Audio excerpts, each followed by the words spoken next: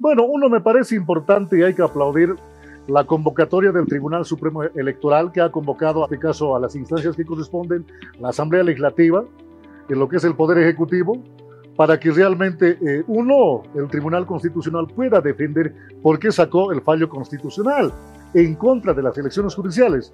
El otro tema me parece importante de que también el Senado ya eh, aprobó el día de ayer el proyecto de ley que pueda blindar el tema de las elecciones judiciales. Sin embargo, hay que entender esto. Desde el año pasado, lamentablemente, eh, Tribunal Constitucional y las salas constitucionales han perjudicado absolutamente durante un año. Ahora, querer perjudicar nuevamente al trabajo del Tribunal Supremo Electoral, por supuesto nadie está de acuerdo. Por eso es importante de que realmente Tribunal eh, Supremo Electoral garantice el trabajo para que se pueda llevar las elecciones judiciales.